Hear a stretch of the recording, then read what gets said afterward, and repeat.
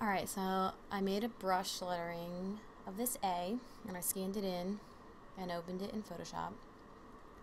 Now, if I want to create a vector of this, since this is a scan, you can see that it's got like the jagged edges and the brush painterly look, and sometimes I like that. And after I do the vector, I can show you how I keep that.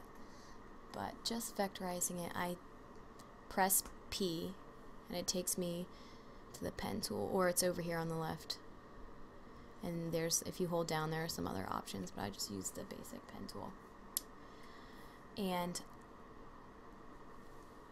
I first start out with it as a shape no stroke and I'll make that color the fill now I bump down over here the opacity once I make my shape. Okay here.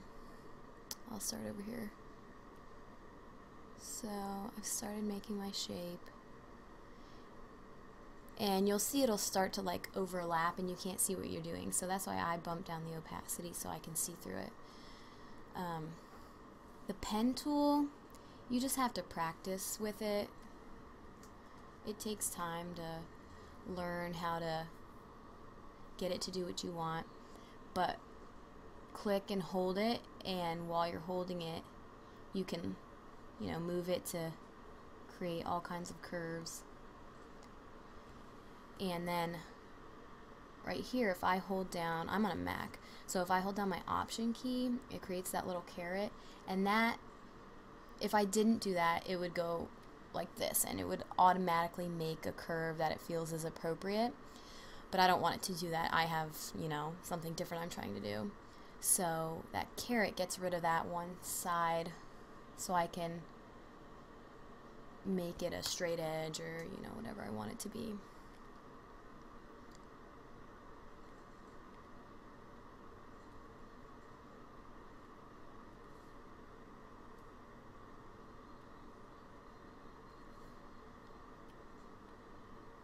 Now this isn't going to be totally perfect or anything, but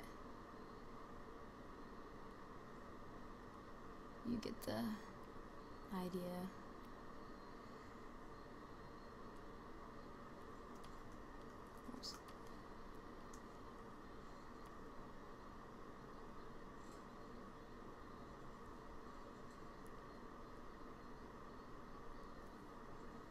I'm working in um, CS6, but it really doesn't matter what version you have. The program, you know, does not make the designer. That's all you and your talent. You can use CS2, CS3, and make just as good work as anyone else on CS6 or CS5.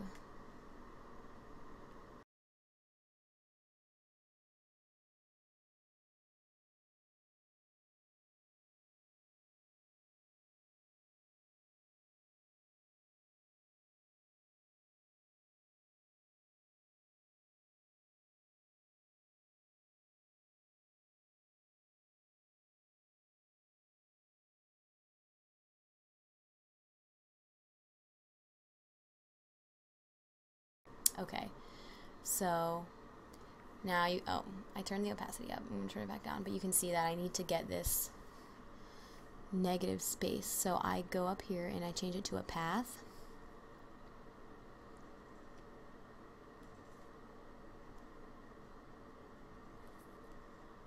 It's just a rough.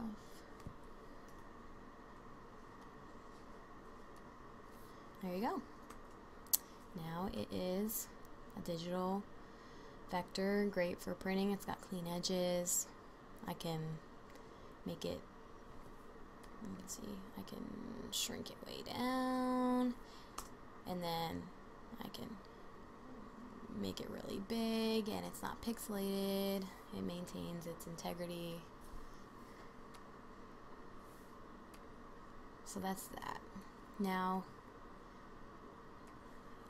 I like the look of like the brush lettering over top of a photo.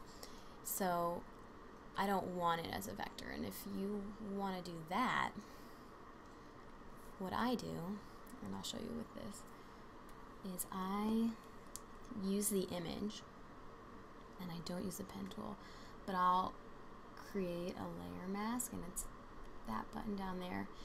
And I do this as opposed to like just erasing the background because if I make a mistake, like if I'm, you know, head down and then all of a sudden I like mm, accidentally go like that, I don't have to control Z and go back and, you know, whatever. I can just press X. You see, I'm using black to hide, and if I go, if it changes to white, then I can, you know, make it show up again. It's more forgiving. That's what I like about it. So, I, I'll just like, you use your brush tool, uh, B, or over here, and I just like super zoom in use a small brush to go around the edge.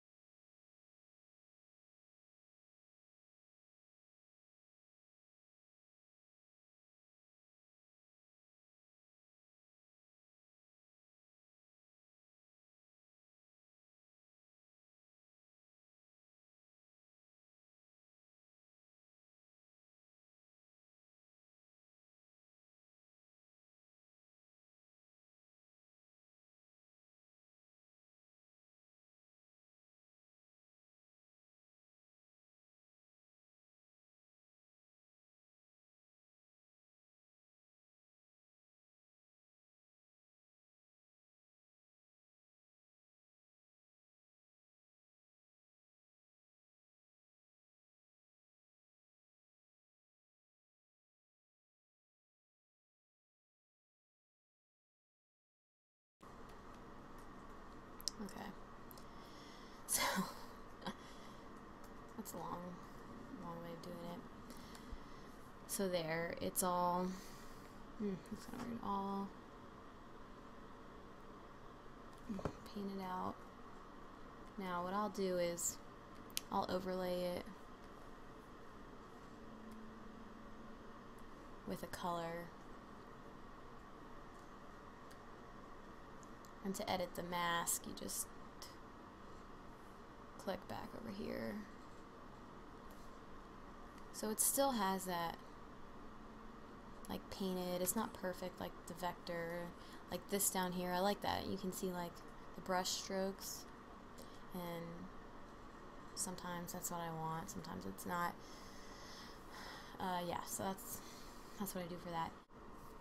Here's a quick showcase of writing with a tablet. I know some people have been curious about that. I find the tablet just mostly helpful for short painterly strokes, like what I was doing with this, um, like super zoomed in. But here is trying to write with it.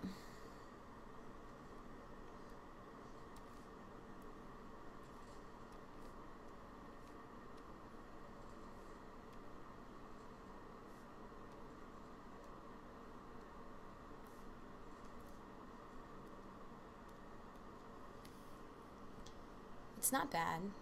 It's definitely not as precise as using a pen and paper. I feel like I can't do exactly what I want to do or make it as perfect as I want. Um, and a lot of people who use it for writing, it's more of the stuff like this, like the dot com part where it's like it looks handwritten. And if that's what you want, then yeah, I say go for it. But if you're looking for something a little bit more perfect, like especially with calligraphy, I definitely wouldn't recommend it for something like that. Like that looks nothing like what I would be able to do on paper. So, yeah, uh, this is my first video, so I'm sorry if it's awkward or too fast or too slow or whatever. Um, if you have any questions, you can email me. You can go to my website right there. Um, and send me a message or, you know, comment on anything, and I'd love to hear feedback about the video because I don't know what I'm doing.